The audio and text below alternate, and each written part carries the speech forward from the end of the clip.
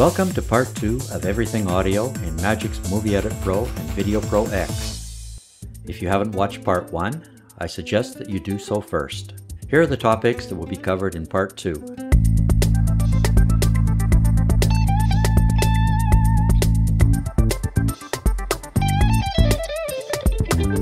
The last few topics are some features that are only available in Video Pro X, so Movie Edit Pro users may want to see what they are missing. As before, I'll refer to Video Pro X as VPX and Movie Edit Pro as MEP.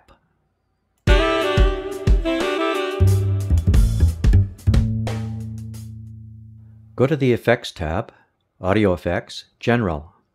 This shows most of the same effects that we saw in the right-click menu.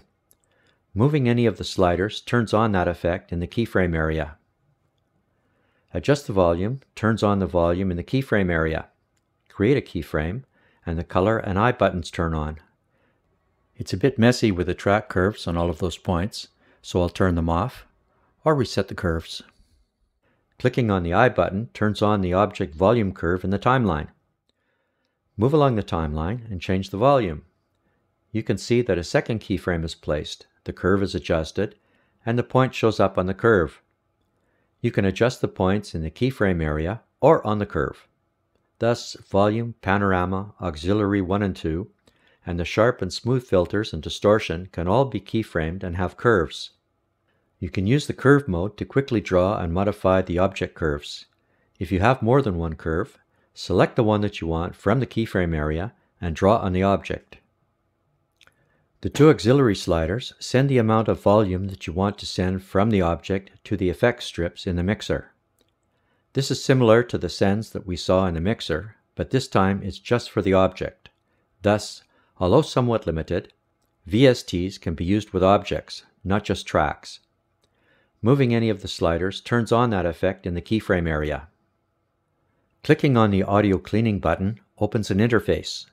This can also be done by double-clicking on an audio object or from the right-click menu.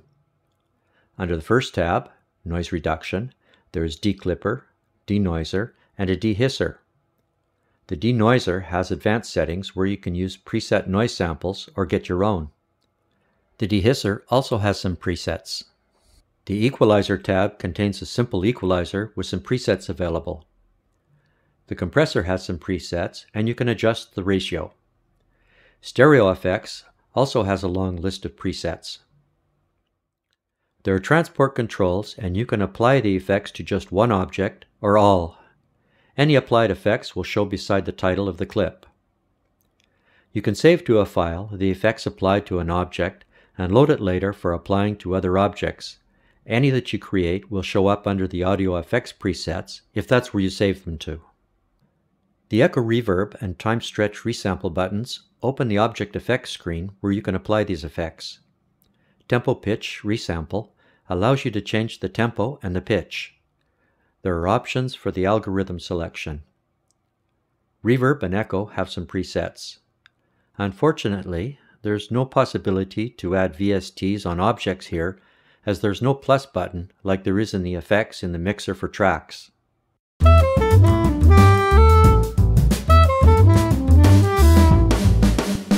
Placing snap markers on transients can help align cut points and effects in video clips and photos with the audio.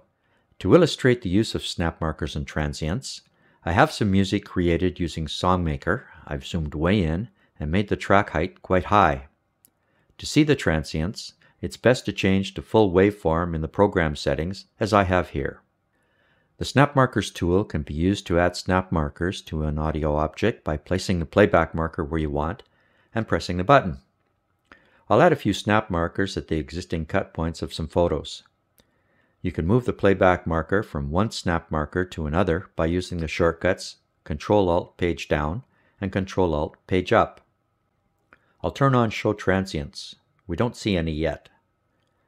I'll scroll the timeline horizontally a bit to better center my snap markers. Clicking on Align Snap Markers with Transients analyzes the audio for transients and moves the snap markers to the closest transient location. This is not always the desired transient, so you may have to move the snap markers. Now I can adjust the cut points of my photos to line up with the snap markers. Once analyzed, the transients show up when turned on, so you can zoom in and add new snap markers manually on or near the transients.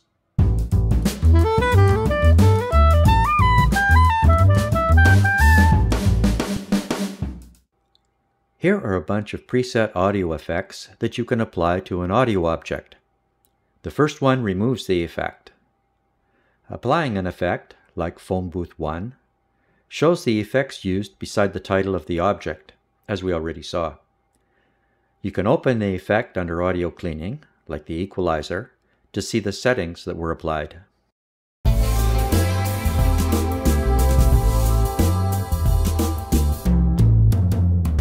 If you have a song in the project that has BPM or beats per minute information, like this one on track 5, use the musical editing adjustment under Edit to cut video clips and photos to the beat. In this example, the cut points are moved to the beats, even though you don't see the beat markers on the audio object. If there is no BPM information, the Remix agent will open to assist in determining the location of the beats and then place snap markers on the beats. The cut points of the video clips and photos will be adjusted, for the most part, to correspond to the snap markers, that is, the beats.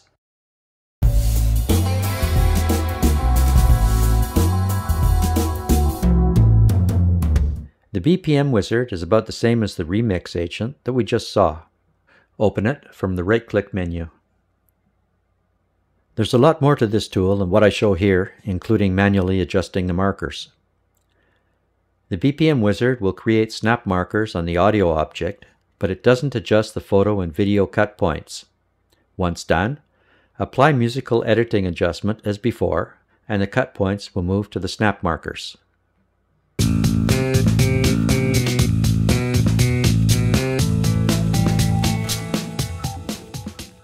Create a range if you want on the timeline. Go to Edit, Wizards, Soundtrack Maker to open the interface. Select the musical style from the drop-down, Moods, Mood Changes, check the Automatic Cut Adjustment, check Apply Style to selected range if the range is set, and create Soundtrack. When done, and if you're satisfied, click on Apply and music will be added onto the timeline with cut points adjusted to the beat. You may have to modify these.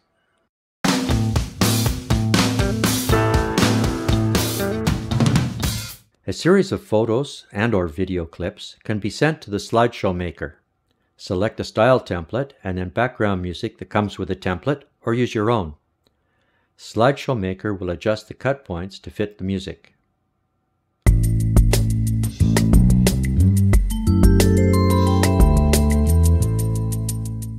For better cleaning or effects, an object, group of objects, tracks, the entire soundtrack, can be mixed down and sent to the external audio editor that is linked to the Program Settings, Folder tab, Audio Editor. Music Editor 3 comes with MEP and VPX and is linked by default. A right-click on the audio part may show the feature Edit Wave externally. If it doesn't, you have to do a mix down manually by isolating exactly what you want by soloing the track and defining a range, then using the mix down shortcut Shift-D. This will create a WAV file on the timeline replacing the selected audio. Now, right-clicking on the WAV object will give you the Edit WAV Externally feature, and selecting it will open the WAV file for editing in the linked external editor, where you can use all of its tools. Upon closing, the updated file is saved, and the file in MEP or VPX is updated with a modified version. Here's an example of using Magix SoundForge Audio Cleaning Lab with the audio part of a video object. Like the older Audio and Music Lab, this too has spectral cleaning and more advanced tools than Music Editor 3.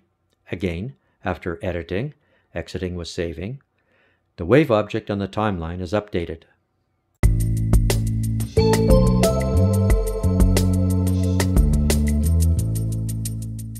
In MEP only, there's a share menu, and you can send your movie directly to Magix Music Maker if you have it installed for dubbing, that is, adding music, narration, and sound effects.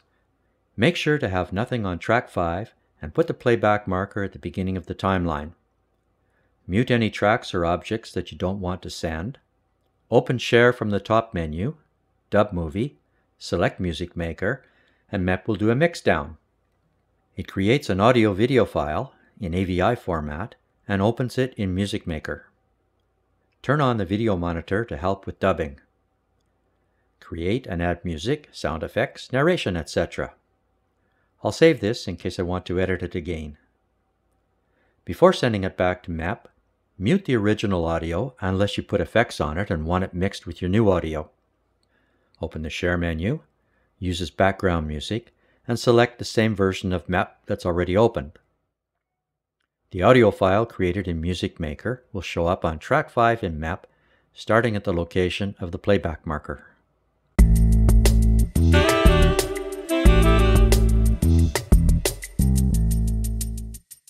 Under File, Export Movie, you can export a range or all audio to a WAV or MP3 file. This is usually used as an alternative for further processing of the audio in an external audio editor, like we saw with the Edit Wave externally. There's a difference between VPX and MEP when exporting to a WAV file. In VPX, the sample rate can be set to 96 kHz. In MEP, 48 kHz maximum.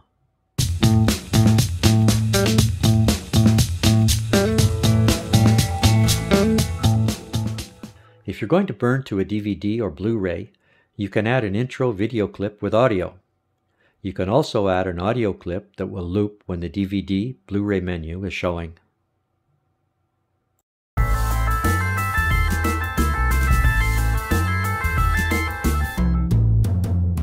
I mentioned that VPX can have multiple languages for use with a DVD or Blu-ray. The language track is created in the timeline.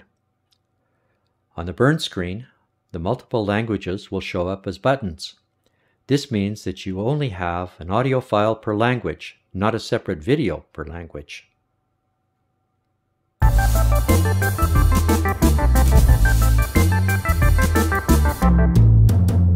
VPX only can export EDL files or Edit Decision List files for use with a DAW or digital audio workstation like Samplitude Pro X and import EDL files created by a DAW.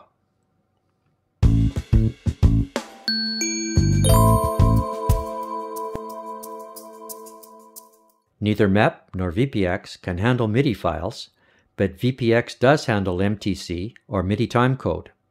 Thus VPX can use a virtual MIDI cable, like LoopBe1, that allows it to be connected to another program, usually a DAW like Samplitude Pro X, in master slave and slave master modes. This synchronizes playback between the two programs so that you can edit in both at the same time. This is very useful for scoring a video. As you can see, both MEP and VPX have extensive audio features. I may have missed a few of them, but that's about all that I can think of. If you would like to see any parts of this tutorial in more detail, please leave me a comment. Thank you for watching. Till next time, enjoy.